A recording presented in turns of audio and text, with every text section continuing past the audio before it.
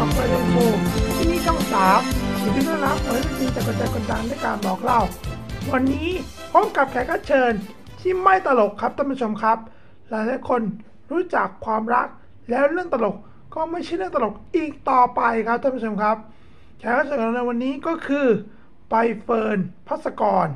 จากชื่อเดิมใบเฟิร์นวินชนก ก็เปลี่ยนชื่อมาเป็นใบเฟิร์นพัสกร กับชีวิตที่ไม่ตลกที่ไหนมาก่อนในโลกใบนี้ เพราะหลายคนเนี่ยเคยทำประสบการณ์มาแล้วหลายครั้งหลายคราจนทำให้รู้ว่าชีวิตนั้นกลายเป็นชีวิตที่ไม่ตลกเอาซะเลย เขามีความรักอยู่ในตัว สร้างชื่อเสียงปรากฏการณ์มาแล้วทุกครั้งทุกครา แต่ที่ไม่รู้ตัวว่าอะไรจะเกิดขึ้นนับจากนี้ไป เพราะสิ่งที่เกิดขึ้นครับท่านผู้ชม ไม่ใช่เรื่องง่ายครับ เพราะว่าการที่ออกมาให้กับความรักเนี่ย มันกลายเป็นเรื่องที่ดีนะ แต่ก็เป็นเรื่องที่ดีนะครับท่านผู้ชมที่หลายคนเนี่ย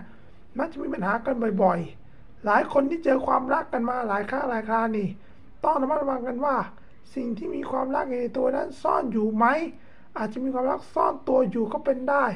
ก็เป็นอีกหนึ่งช่องทางที่บอกกันเลยว่า การนำความรักนี้จะเป็นจะไปสู่ความรักที่ดีที่สุดในวงการนะครับท่านผู้ชมครับ เรื่องแบบนี้นี่ถ้าเอามานำเสนอนี่โอ้โห ถูกใจแฟนๆเลยแหละครับท่านผู้ชมครับ เรื่องที่ท่านกำลังรับชมนี่ผมบอกกันเลยว่า เรื่องนี้เนี่ยไม่ตลกแต่ก็รักนะ นี่คือทั้งหมดของเรื่องเล่าจากกับเฟรเดชุดเนสในวันนี้ เจอกันใหม่วันเสาร์หน้าทางช่อง 3 วันนี้เอาชมไปก่อนนะครับ